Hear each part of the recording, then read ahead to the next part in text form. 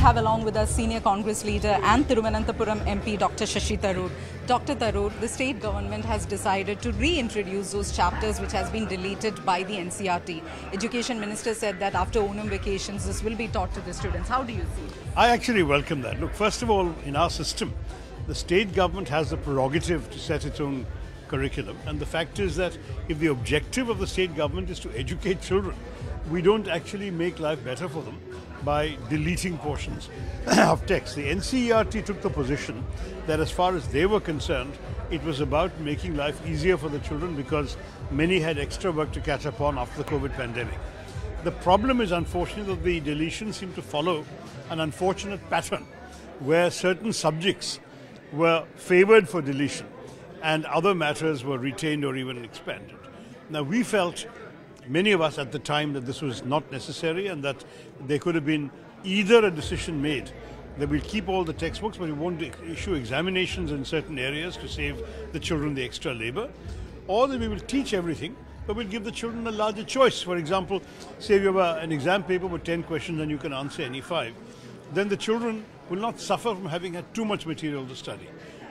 This kind of situation is a far better one. Everything is available to them and you have a possibility, therefore, of being at least given the entire 360 degree range of what exactly you should be aware of with politics, the freedom struggle, civics, and these areas.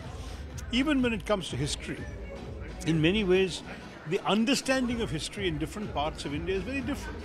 Uh, to take an example, if the historical memory that some in the north keep harping on is of Islam coming with the sword, in Kerala, Islam did not come by the sword. It came with traders, travelers, people who had been known and familiar to Kerala for centuries before, before the Prophet and who brought the news as good news from their country. Now, that kind of experience gives us a different history and a different view of history. So, I think that there is not at all a bad idea that states should be encouraged to do what they think is best for their own populations. Gujarat riots, Gandhi assassination, Darwin's theory of evolution, Mughal history, these are some of the topics that the state will be reintroducing. Um, so the, these topics particular, I mean, that is what the contention is all about. No, I mean, look, I've, I've, I've, I've written about this. I'm not going to specifically cherry pick particular topics. It is not, I believe, not an exercise in pointing to a particular a political cause or whatever. The idea is simply to show our young children all the major events of our time. No one can claim that the 2002 Gujarat riots were not a major cataclysm in our country at that particular period. No one can claim that the 84 riots against Sikhs were not important. No one can claim that Darwin's theory of evolution has not shaped much of modern understanding of, of human biology and of, of, of, uh, of science. These are all parts of the basic equipment the children should have. Similarly, in mathematics, Pythagoras' theorem was cut out. That couldn't be political.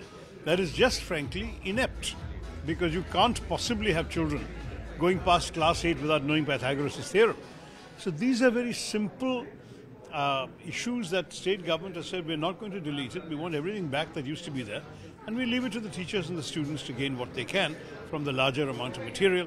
I truly think it's a right decision. I applaud it.